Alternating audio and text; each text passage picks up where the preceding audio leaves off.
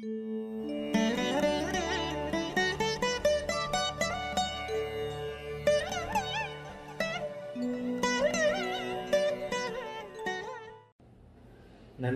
வணக்கம். எல்லோரும் நன்றாக இருப்பீர்கள்.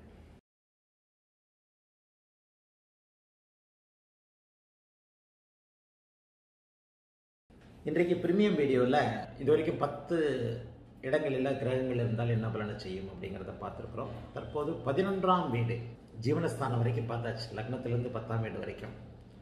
இன்றைக்கு பதினொன்றாம் வீட்டில் கிரகங்கள் இருந்தால் என்ன பலன் தரும் அப்படிங்கிறத வந்து இன்றைக்கு பார்க்கலாம். இந்த பதினொன்றாம் வீடு லாபஸ்தானம்னு சொல்லப்படுகிறது. இதனுடைய உயிர் காரகத்துவம் இரண்டு சொல்லலாம் ஒன்று வந்து மூத்த சகோதரரை குறிக்கும். தனக்கு முன் பிறந்தவர்களை காட்டக்கூடிய ஒரு வீடு. மூத்த சகோதர வீடு. இரண்டாவதாக இளைய மனைவி இரண்டாவது மனைவி. மூன்றாவது மனைவி இப்போ வந்துக்கிட்டு இருக்கு அதற்கான பாவகம் என்னன்றது இன்னும் துல்லியமாக சொல்ல முடியல. இரண்டாம் பாவகம் மூன்றாம் பாவகம் ஐந்தாம் பாவகம். அதாவது பதினொன்றாம் இடத்திற்கு ஏழாம் வீடு. பதினொன்றாம் வீட்டிற்கு மூன்றாம் வீடு அப்படி இப்படின்னு சொன்னாலும் இன்னும் வந்து அந்த மூன்றாவது திருமண விஷய ஜாதகங்கள் வந்து குறைவாக வருகிறதுனால அது இன்னும் மூன்றாவது மனைவிக்கு எந்த பாவகம் என்பதை துல்லியமாக சொல்ல முடியாது. தேவைகள் ஏற்படும் பொழுது மட்டுமே விதிகள் கண்டுபிடிக்கப்படும் அப்படிங்கிறது தான் உண்மை. இந்த வார்த்தையை ஞாபகம் வச்சுக்கோங்க. தேவைகள் எப்போது ஏற்ப தே- ஏற்படுகிறதோ அப்போது தான் அந்த இடத்துல விதிகளும் எதுவும் கிடைக்கும். விதிகளாக இருக்கட்டும் அல்லது தேவைகள் ஏற்பட்டால் தான் பொருட்களும் உற்பத்தி செய்யப்படும்ன்றது உண்மை இல்லையா? அந்த அமைப்பின்படி மூன்றாவது திருமணம் சமூகத்தின் ஜாஸ்தியாகும் போது மூன்றாவது திருமணத்திற்கான அமைப்போ விதியோ ஏற்படும். தற்போது இரண்டாவது திருமணம் என்று சொல்லப்படக்கூடிய இளைய மனைவி இரண்டாவது கணவர் இவர்களை குறிக்கக்கூடிய பாவகமும் பதினொன்றாம் பாவகம் தான் லாபஸ்தானம் என்று சொல்லப்படுகிறது. லாபஸ்தானம்னு அடிக்கடி சொல்றோம். லாபஸ்தானம். பொதுவாகவே இந்த பாவகங்களில் பாவத் பாவக அமைப்பின்படியும் சில நிலைகளை சொல்லுவேன். பாவத் பாவக அமைப்பின்படி இந்த பதினொன்றாம் பாவகம் எதை குறிக்கும் அப்படின்னு சொன்னால் இந்த பாவத் பாவகம்ன்றது என்னன்ற ஒரு இதை சொல்லியிருக்கிறேன். அடிக்கடி நிறைய பேர் புரிஞ்சிருப்பீங்க. ஒரு பாவகத்திற்கு இன்னொரு இன்னொரு அமைப்பு எதோடு தொடர்பு கொள்ளுகிறது அப்படிங்கிறத எப்படிப்பட்ட நிலையில் இருந்தால் நல்லது அப்படின்றத குறிக்கிறதுக்கு அடிக்கடி பாவத் பாவகம்ன்ற ஒரு பாரம்பரிய விதிகளை சொல்லுவோம். இப்போ இது லாபஸ்தானம்னு ஏன் சொல்லப்படுகிறது அப்படின்னு சொன்னால் பத்தாம் பாவகத்திற்கு இரண்டாம் பாவகம். நீங்கள் என்ன தொழில் செய்வீர்கள் அப்படிங்கிறத இந்த பத்தாம் பாவகம் ஜீவனஸ்தானம் என்று சொல்லப்படக்கூடிய பத்தாம் பாவகம் குறிக்கும். அதே நேரத்தில் அந்த தொழிலில் எத்தகைய லாபத்தை ஒரு லாபம் எவ்வாறு உங்களுக்கு கிடைக்கும் அப்படிங்கிறத வந்து இந்த பதினோராம் பாவகம் குறிக்கும் அப்படிங்கிறதுனால இந்த பதினோராம் பாவகம் லாபஸ்தானம் என்று சொல்லப்படுகிறது.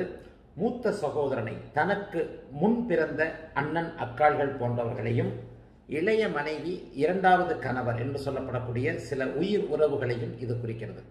இதுதான் மிக மிக முக்கியமான ஒன்று இன்னும் ஒரு இந்த பதினோராம் பாவகத்தின் சிறப்பு என்னன்னா பதினோராம் பாவகத்தில் இருக்கக்கூடிய எல்லா கிரகங்களும் நன்மைகளை செய்யும் அப்படிங்கிறது ஒரு பொது விதி. நியூட்ரலான ஸ்தானம்னு சொல்லிடுவேன். பதினோராம் பாவகத்தில் இருக்கக்கூடிய அத்தனை கிரகங்களும் நன் நல்லவைகளே. பொதுவான விதிகளை மட்டுமே பார்க்கக்கூடாதுன்னு அடிக்கடி சொல்கிறேன் இல்லையா அதனால ஒரு பொதுவான விதியை தெரிஞ்சுக்கங்க. அடுத்து நம்முடைய சுபத்துவம் பாவத்துவம் அடிப்படையில் பதினோராம் பாவகத்திலேயே அந்த கிரகங்கள் இருந்தால் கூட பாவத்துவமாக இருக்கா? நன்மைகளை செய்ய இயலாத நிலைமையில் இருக்கும். அதாவது சனி ராகு போன்றவைகள் பதினோராம் இடத்தில் இருந்தால் நன்மைகளை செய்யும் அப்படிங்கிறது பொதுவான விதி. அதே நேரத்தில் சனியும் ராகுவும் இணைந்து தனித்தனியா மூன்று ஆறு பதினொன்று அப்படி இருக்கிற கிரகங்கள் பாவ கிரகங்கள் நன்மைகளை செய்யும்ன்றது விதி. சரி பதினோராம் பாவகத்துல அந்த பாவ கிரகங்களான சனி செவ்வாய் ராகு தனித்தனியாக இருந்தால் ஒரு விதமான ஸ்தான பலம் கிடைக்கிறது. ஆனால் இதே கிரகங்கள் சேர்ந்து இருந்தால் அந்த பதினோராம் பாவகம் கெடும். எந்த விதி? எங்கே முன்னிறுத்தி பார்ப்பது அப்படிங்கிறது மிக மிக முக்கியம். அந்த அமைப்பின்படி பதினோராம் பாவகத்தில் இருக்கின்ற அத்தனை கிரகங்களும் நன்மைகளை செய்யும் அப்படிங்கிறது ஒரு பொதுவான விதி. ஏனென்றால் கேந்திர வீடுகள் கோண வீடுகள். ஒன்று நான்கு ஏழு பத்து கேந்திர வீடுகள். கோண வீடுகள் ஒன்று ஐந்து ஒன்பது. ஒன்றுன்றது காமன் பொதுவானது. கேந்திரத்திற்கும் கோணத்திற்கும் பொதுவானது. ஒன்று ஐந்து ஒன்பது நான்கு ஏழு பத்து. இதெல்லாம் கேந்திர கோண வீடுகள். ஆறு எட்டு பனிரெண்டு மறைவு வீடுகள். ஆறு எட்டு பனிரெண்டு மறைவு வீடுகள். பணவரஸ்தானம்னு சொல்லுவோம். அதில் ரெண்டு அஞ்சு எட்டு பதினொன்று வந்தாலும் இந்த பாவத் பாவக கேந்திர கோண கேந்திர கோண ஆஹ், உபசயஸ்தானங்கள் சொல்கிறோம் இல்லையா? கேந்திர கோண வீடுகள் மறைவு வீடுகள்.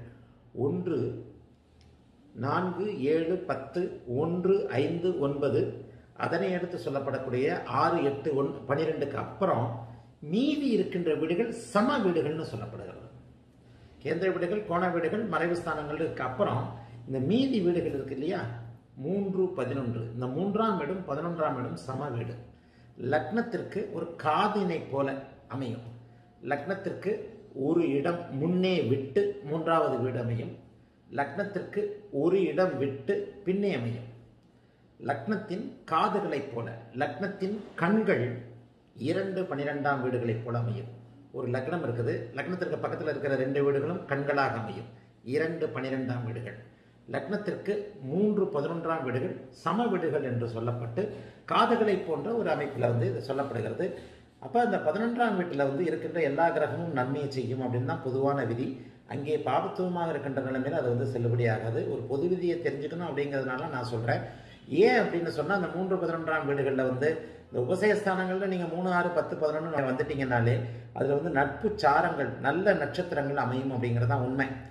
எந்த ஒரு லக்னத்திற்கும் பதினொன்றாம் பாவகத்தில் ஒரு முழுமையான நட்சத்திரம் வந்து அஞ்சு ஒன்பது கூடிய நட்சத்திரங்களாக அமையும். ஒரு மூணு நட்சத்திரம் வந்து ஒரு பாவகத்திற்குள்ளே அடக்கம். இரண்டே கால் நட்சத்திரங்கள் ஒரு பாவகத்திற்குள் இருக்கும். ஒன்பது பாவகம் ஒன்பது பாதங்கள்னு சொல்லுவோம்.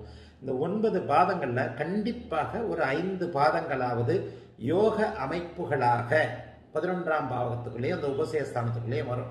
ஒரு முழு நட்சத்திரமோ அல்லது ஒரு ஐந்து ஆறு பாதங்களோ ஐந்து பாதங்கள் ஒரு நல்ல அமைப்பில் கண்டிப்பாக வரும். எந்த ஒரு இதுக்கும் பார்த்துக்கிட்டிங்கன்னா இந்த பதினொன்றாம் இடத்துல இருக்கின்ற மிக பெரும்பான்மையான அமைப்புகள் நல்லது செய்யும் அப்படின்னு சொல்வதற்கான காரணம் அங்கே நல்ல நட்சத்திரம் அமர்ந்திருக்கிறதுனால ஒரு கிரகம் பாவ கிரகமாக இருந்தால் கூட நட்சத்திரங்களின் அடிப்படையில் பலன் தரும் என்கின்ற ஒரு விதியின்படி அங்கே நட்சத்திர அமைப்புகள் வலுவாக இருக்கின்ற ஒரு இந்த அந்த பதினொன்றாம் பாவகம் நல்ல பாவகம்னு சொல்லப்படுகிறது.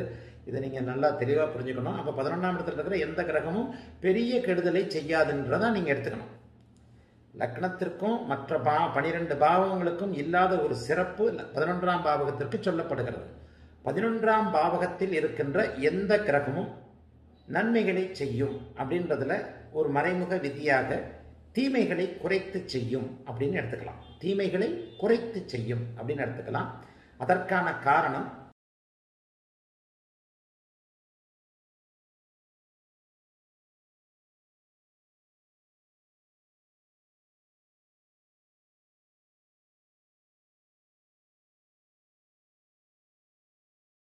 மூன்று பதினொன்றாம் வீடுகள் சம வீடுகள் என்று சொல்லப்பட சொல்லப்படுகின்றன.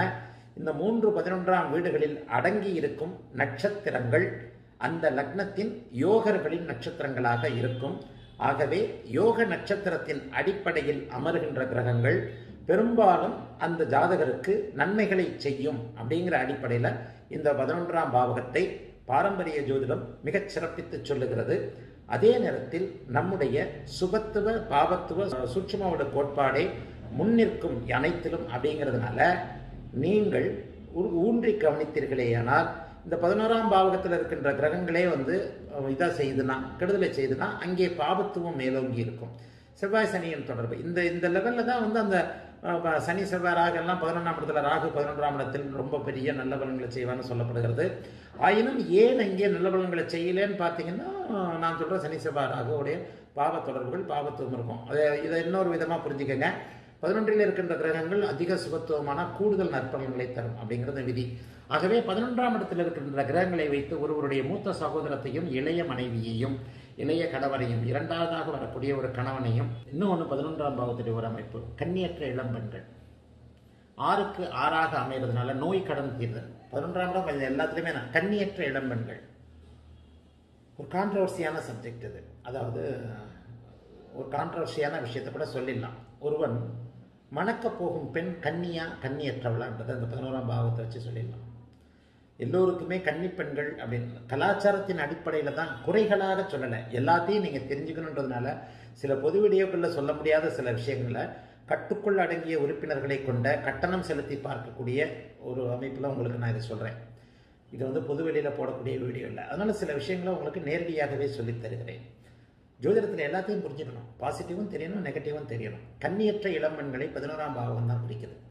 ஒருவன் ஒருத்தி ஒருவன் அல்ல ஆண் பெண் ரெண்டு பேருக்குமே ஒன்று தானே அந்த காலத்தில் பார்த்தீங்கன்னா ஆறு பெண் ருதுவாகி பெண் பூ பெய்தி ஆறு அமாவாசைகளுக்குள் அவளுக்கு வந்து திருமணம் செய்து கொடுத்து விட வேண்டும் அப்படின்னு துடிச்சவங்களாம் இருக்கிறாங்க. அது நூ மீத நூல்கள்லையும் கொடுக்க சொல்லிருச்சு ஆறு அமாவாசை ஆச்சா பொண்ணுக்கு? ஆறு மாதம் ஆச்சு பொண்ணு சமைஞ்சு அதுக்கு என்ன கல்யாணம் பண்ணி கொடுக்கலையான்னு தான் கேட்பாங்க. பன்னெண்டு பதிமூணு பதினாலு வயதில் பெண்கள் வயதுக்கு வந்தார்கள் பதினஞ்சு வயசுலன்னா பதினாறு வயசில் கல்யாணம் பண்ணி கொடுத்துருவாங்க. பதினஞ்சு வயசில் கல்யாணம் பண்ணி கொடுக்கும்போது ஒரு இருபது இருபத்தஞ்சு வயசு பையனுக்கு ஒரு பத்து வருஷம் பதினஞ்சு வருஷம் வித்தியாசம் இருந்தாலும் இது பண்ணி கொடுப்பாங்க. அப்போ வந்து பெண் வந்து ஒரு கன்னியான பெண்ணாக இருந்தால் சில நிலைகளில் கன்னியற்ற ஆண்கள் ஒருவருடைய அமைப்பு ஒரு திருமணம் முதலிரவன்று தான் அந்த முதல் இன்பத்தை அடைகிறார்கள். அப்படிங்கிற விதிகளும் சில இதில் இருக்குது அதுக்கெல்லாம் வச்சு க- ஜோதிடத்தில் கண்டுபிடிச்சிடலாம். முதல் இருவருக்குமே அந்த முதலிரவன்று தான் முதல் அனுபவமா என்பதையும் ஆண் அனுபவம் உள்ளவரா பெண் அனுபவம் உள்ளவரா அப்படிங்கிறதையும் பதினொன்றாம் பாகத்தில் கண்டுபிடிச்ச முடியும். கண்ணியற்ற இளம் பெண்கள் என்பதை பதினொன்றாம் பாவகம் தான் குறிக்கிறது. கடன் நோய் தீர்தலையும் இந்த பதினொன்றாம் பாவகம் தான் குறிக்கிறது. லாபஸ்தானம் என்று சொல்லப்படக்கூடிய பத்தாம் இடத்திற்கு தன தன வீடான இந்த இந்த பதினோராம் வீட்டின் மூலமாக ஆறாம் வீட்டில் வாங்கிய நீங்கள் கடன் ஆறாம் வீட்டினால் உங்களுக்கு ஏற்பட்ட நோய் குறைகிறதையும் இது பண்ணிடலாம். பதினொன்றாம் பாவகம் வலுத்திருந்தாலே ஒரு மனிதனுக்கு மிகப்பெரிய அமைப்பு. பதினொன்றாம் பாவகம் நியூட்ரல் ஸ்தானம்ன்றதுனால ஆறுக்கு ஆறுக்குடையவர் அந்த இடத்துல போய் உட்கார்ந்தாருனாலே அதிகமான பண வரவு பொருள் வரவு ஒரு மனிதனுக்கு இருக்கும். அவர் சம்பாதிக்கிற விதத்தை பற்றி தெரிஞ்சுக்கலாம். நோய் தேர்றது கடன் தேர்றது நோயற்ற வாழ்வு கடனற்ற வாழ்வு எல்லாத்தையும் இந்த பதினொன்றாம் பாவகாதிபதி தான் குறிக்கிறார்.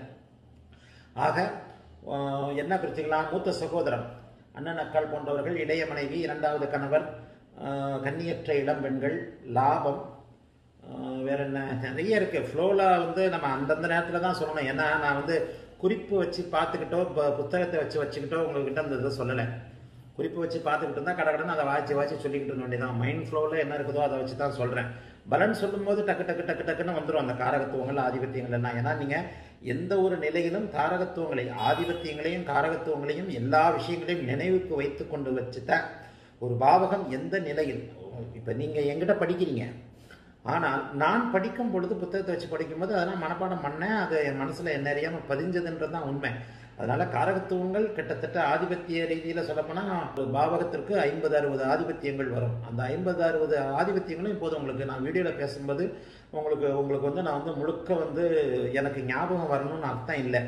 அப்படி இல்லை கையில் புஸ்தகத்தை வச்சுக்கிட்டு ஒரு நோட்ஸை பார்த்துக்கிட்டு நான் பேசுகிறேன்னா உங்களை ஏமாத்துறேன் ஆகிடும் அதனால் வந்து என்னுடைய ஃப்ளோவில் வர்றது மட்டும்தான் சொல்கிறேன் மிக முக்கியமான ஒரு ஆதிபத்தியங்கள் இவைகள் தான்.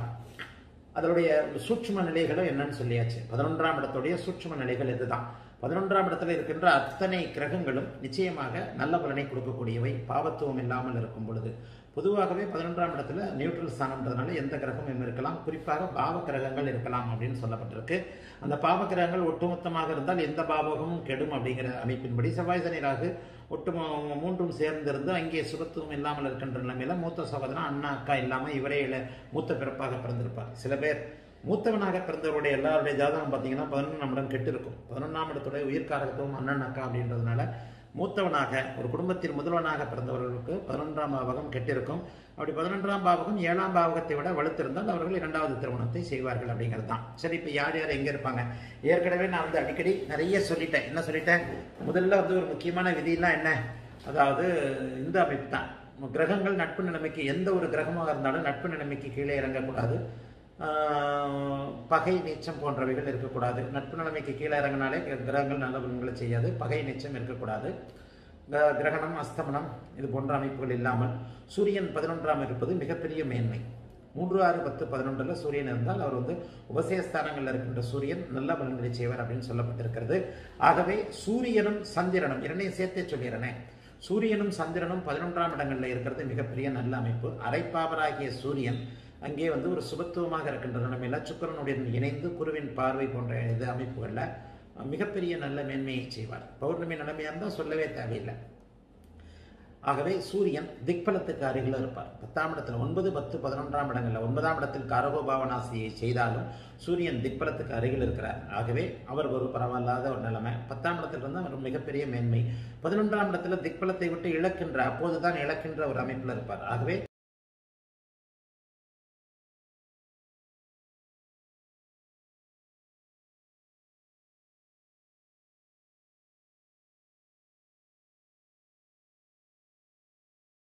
பதினொன்றாம் இடத்தில் சூரியன் இருப்பது மிகப்பெரிய நல்ல பலன்களாக தலைமை தாங்கக்கூடிய ஒரு தகுதிக்கு இதாக சொல்லப்படுகிறது. பதினொன்றாம் இடத்துல சூரியன் இருக்கலாம். பாவத்துவமாக இருக்கக்கூடாது மட்டும் புரிஞ்சுக்கணும். அடுத்து சந்திரன். மாதாக்காரவனாகிய சந்திரன். ஒரு பௌர்ணமி வளர்பிறை சந்திரன் நிலைமையில் குரு சுக்கர தொடர்புகளோடு பதினொன்றாம் இடத்தில் இருப்பது மிகச் சிறப்பு. பதினொன்றாம் இடத்தின் உயிர்காரகத்துவங்கள் லாபஸ்தானங்கள் லாபத்தன்மைகள் நீங்கள் எதன் மூலமாக சம்பாதிக்க போறீங்க? அதுக்கடுத்து பதினொன்றாம் பாவம் என்ன செய்யும் அப்படின்னு சொன்னால் அது வந்து சரராசியா ஸ்திரராசியா ஜலராசியா நீ இது உபயராசியா நிலராசியா காற்று ராசியான்னு அதற்கடுத்த தத்துவங்களுக்குள்ள வந்துடணும். அவ்வளோதான் ஒரு பாவகம் என்ன பலனை செய்யும்? இப்போது நான் சொன்னது பொதுவான விஷயம். இந்த பதினொன்றாம் வீடு அப்படி எடுத்துக்கணும். அந்த பதினொன்றாம் வீட்டில் என்ன கிரகம் இருக்குது அந்த பதினொன்றாம் வீடு என்ன வீடு? சரராசியா ஸ்திரராசியா உபயராசியா? என்ன பஞ்சபூத தத்துவங்கள்ல அது என்னது? நெருப்பா காற்றா நிலமா நீரா? இவ்வளத்தையும் சேர்த்து காம்பினேஷன்ஸில் அது உள்ள என்ன நட்சத்திரங்கள் இருக்கும்போது துல்லியமாக பலன் சொல்ல முடியும். ஜோதிடம் புரிந்து கொள்ளும்போது வெகு ஈஸியான ஒன்று தான் பதினொன்றாம் பாவகம் நியூட்ரல் பாவகம்னு சொல்லிட்டேன். எல்லாத்துக்கும் பொதுவான ஒரு அமைப்புன்னு சொல்லிட்டேன். அப்போ அந்த பதினொன்றாம் பாவகம்ன்றத ஒரு ஒரு தனியாக தூக்கி எடுத்து வச்சுக்கிட்டாச்சு. எடுத்து வச்சுக்கிட்டு அந்த ராசிகளில் மூன்று பிரிவுகள் இருக்கின்றன. சரம் ஸ்திரம் உபயம்னு சொல்லிட்டு. அந்த மூன்றில் அது என்ன? அந்த பதினோராம் பாவகம். அந்த ராசிகள் நான்கு பஞ்சபூத அமைப்பாக பிரிக்கப்படுகின்றன. மொத்தம் ஐந்து பஞ்சபூதம். அதில் ஒன்று ஆகாயம். அந்த ஆகாயம் தான் ராசி கட்டமாகவே இருக்கிறதுனால மீதி நான்கு ராசிகள் இருக்கின்றன. மீதி நான்கு என்ன? நெருப்பு நிலம் காற்று நீர். இந்த நான்கில் அது என்ன? அதனை அடுத்து ஆண் ராசியா பெண் ராசியா? அதுக்கடுத்து ஆறு பிரிவுகளாக ராசி கட்டம் பிரிக்கப்படுகிறது ஒன்று ஆண் ஆண் ராசி. இப்படியே கொஞ்சம் கொஞ்சமாக அப்படியே உள்ளுக்குள் உள்ளுக்குள். அதைத்தான் நான் சக்கரம் சக்கரம் சக்கரம்னு சொல்லுவேன். ஒரு சக்கரத்திற்குள் இன்னொரு சக்கரம். ஒரு வட்டத்திற்குள் இன்னொரு வட்டம். ஒரு வளையத்திற்குள் இன்னொரு வளையம். இப்படியே போய் கொண்டிருக்கும் போது தன்னை அறியாமல் ப்ரிடிக்ஷன் பண்ணுறதுக்கு மூளை போயிடணும். அப்படி போயிட்டாலே உங்களுக்கு பலன் தெரிய பலன் சொல்ல வரப்போகிறதுன்னு அர்த்தம். பதினொன்றாம் பாவகம். என்ன பாவகம்? பதினொன்றாம் பாவகத்தில் இருக்கின்ற கிரகம் என்ன கிரகம்? அது என்ன நட்சத்திரத்தில் இருக்கிறது? அந்த பாவகம் சரஸ்திர உபயமா? அந்த பாவகம் காற்று நெருப்பு நீர் நில ஆகாயமா? ஆண்ராசியா பெண்ராசியா? இதை தாண்டி அதற்கு என்ன தொடர்புகள் இருக்கின்றன? அந்த பதினொன்றாம் பாவகாதிபதி எங்கே இருக்கிறார்? அந்த பதினொன்றாம் பாவகத்தை எவர் பார்க்கிறார்? எவர் தொடர்பு கொள்கிறார்? அந்த பதினொன்றாம் பாவகாதிபதியின் நட்சத்திரங்கள் யார் யாருக்கு தொடர்புகள் இருக்கிறது? இவ்வளவு கட பார்த்துட்டோம்னாலே என்னென்ன ப்ரொடிக்ஷன் எப்படிப்பட்ட அமைப்புகள் வரும்ன்றதை தெளிவாக சொல்லிவிடலாம். அடுத்து செவ்வாய். பாப கிரகங்களான சனி செவ்வாய் ராகு பதினொன்றாம் இடத்தில் இருப்பது நல்லவைகள்னு சொல்லப்படுகிறது. லக்னத்தை பொறுத்து அந்த வீட்டில் செவ்வாய் நட்பு வீடாக இருக்கும் பொழுது நிச்சயமாக உபசேஸ்தானம் என்று சொல்லப்படக்கூடிய மூன்று ஆறு பத்து பதினொன்றில் பாவ கிரகங்கள் நன்மைகளை செய்வார்கள் அப்படிங்கிற தத்துவத்தின் அடிப்படையில் பதினொன்றாம் பாவகம் நியூட்ரல் ஸ்தானமாக இருக்கிறதுனாலையும் செவ்வாய் பதினொன்றாம் இடத்துல நட்பு நிலைமைக்கு கீழே இறங்காமல் சுபத்துவ தன்மையோடு சூட்சுமோடு என்று சொல்லப்படக்கூடிய கேதுவோடு இணைந்திருக்கும் போது நன்மைகளை நிச்சயமாக செவ்வாயும் செய்வார். அதனை அடுத்து புதன். புதனும் பதினொன்றாம் இடத்துல ரெண்டு அஞ்சு எட்டு பதினொன்றாம் இடங்களில் புதன் வந்து சில நிலைகளில் நல்லது செய்வார் தனித்த புதனாக இருக்கும் பொழுது. அப்போ புதன் வந்து தனித்து பதினொன்றாம் இடத்துல இருந்தார்னா அவர் அஞ்சாம் இடத்தோடு தொடர்பு கொள்ளும் இன்னொன்று என்ன?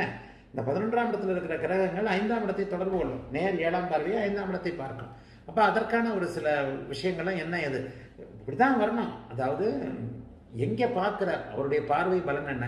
அந்த பா அந்த பாவக அமைப்பு என்ன? அப்படியே ஒரு ஒரு ரவுண்டு சுற்றி வந்துட்டோம்னாலே ப்ரிடிக்ஷன்ஸ் எப்படி பண்ண முடியுன்றதை தெரிந்து கொள்ளலாம்.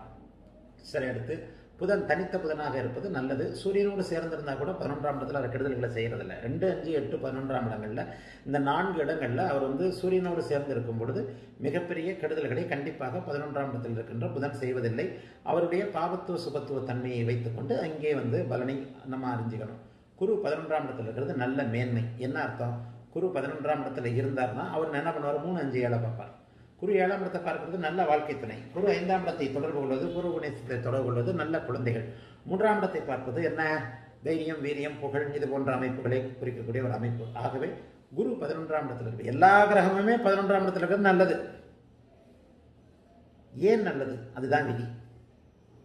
இங்கே பதினொன்றாம் இடத்துல இருக்கக்கூடாதுன்னு எங்கேயுமே சொல்லப்படலை எந்த கிரகமும். ஏன் நல்லதுன்றதை மட்டும் உள்ளே பார்த்துக்கங்க. அனைத்து கிரகங்களும் பதினொன்றில் இருக்கலாம். ஏன் நல்லது? குரு பதினொன்றில் இருப்பார். மூன்று அஞ்சு ஏழை பார்ப்பார்? மூன்று அஞ்சு ஏழு மூன்று ஒரு மனிதனுக்கு தைரியத்தையும் அஞ்சு ஒரு மணிக்கு மனிதனுக்கு அதிர்ஷ்டத்தையும் நல்ல குழந்தைகளையும் ஏழு நல்ல வாழ்க்கைத்தனையும் நண்பர்களையும் கூட்டாளிகளையும் குறிக்க குடிக்க கொடுக்கக்கூடிய அமைப்பு. குரு இருக்கும் இடத்தை விட பார்க்கும் இடத்தை சுத்தமாக வந்து வலிமைப்படுத்தி பெருக்கி நல்லவைகளாக செய்யக்கூடிய ஒரு அமைப்பு. பாவக சுபத்துவ அடிப்படையில்.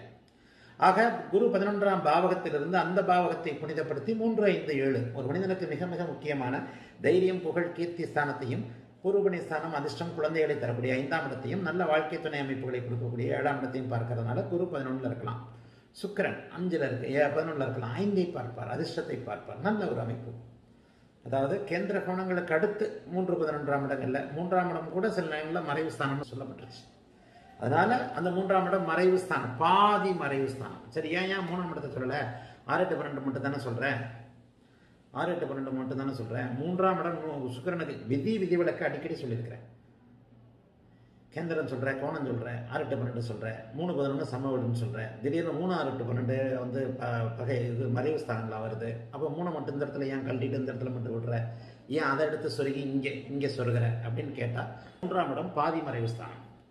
மூன்றாம் இடத்தில் இருக்கிற கிரகங்கள் முழுமையாக மறையாது. ஆனால் அதிலும் ஒரு விதிவிலக்கு நூறா சுக்கரனுக்கு சுக்கிரனுக்கு மூன்றாம் இடம் நூறு சதவீதம் மறைவு ஸ்தானம் ஆக எல்லாத்தையும் விதிகளை புரிந்து கொண்டு விதிவிலக்குகளை புரிந்து கொள்ளுங்கன்னு சொல்லிடுவேன். அப்போ மூன்று பதினொன்றாம் வீடு சம வீடுனாலும் அந்த முதன்மை சம வீடு பதினொன்றாம் வீடு.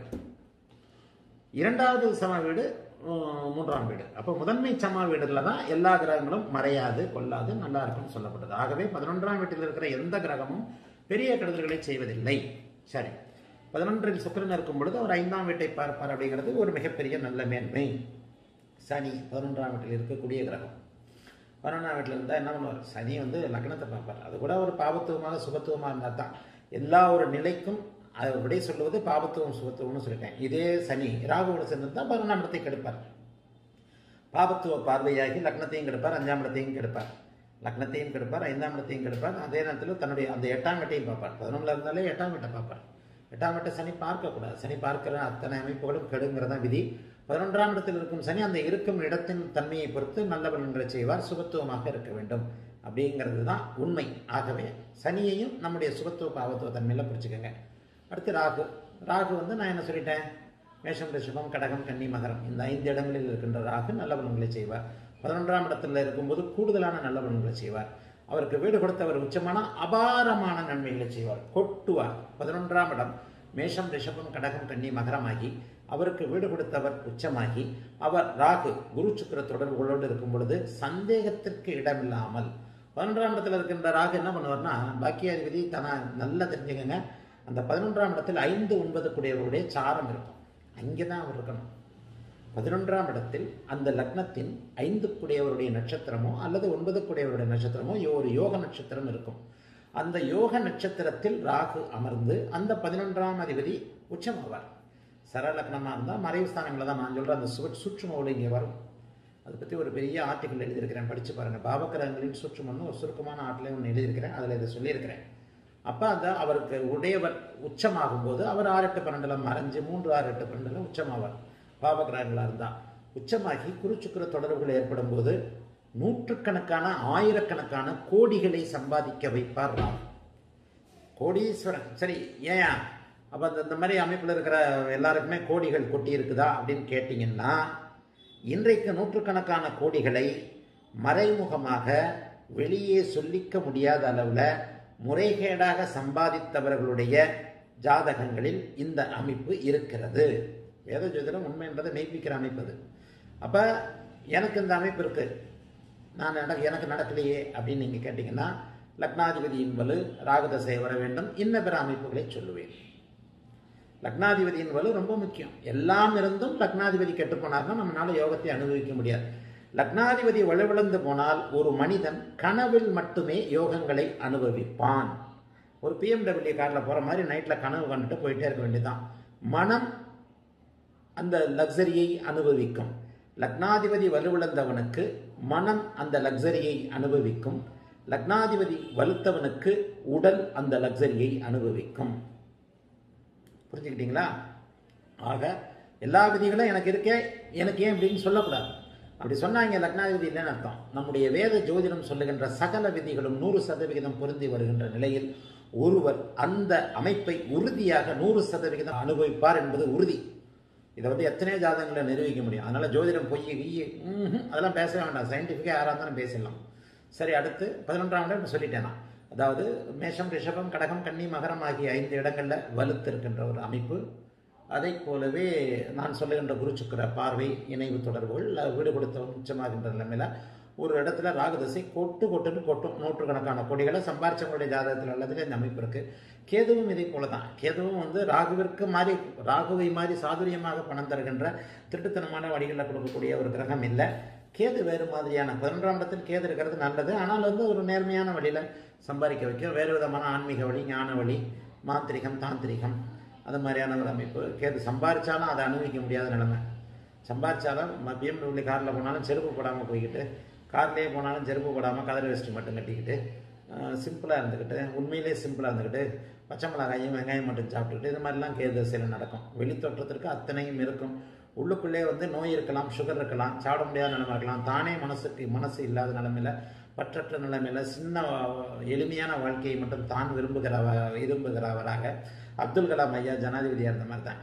அவர் பெரிய பெரிய காரில் போய்கிட்டு இருப்பார். மனசு வந்து அவர் வந்து ராமேஸ்வரர் ஒரு இளைஞனாக ஒரு கிராமத்தானாக பற்றற்ற துறவியை போலத்தான் சில பேர் அனுபவிப்பாங்க வசதிகளை. அப்துல் கலாம் ஐயாவை அதற்கு உதாரணமாக சொல்லலாம். இந்த மாதிரியான அமைப்புகளை பதினொன்றாம் இடத்தில் இருக்கின்ற கேது கொடுப்பார்.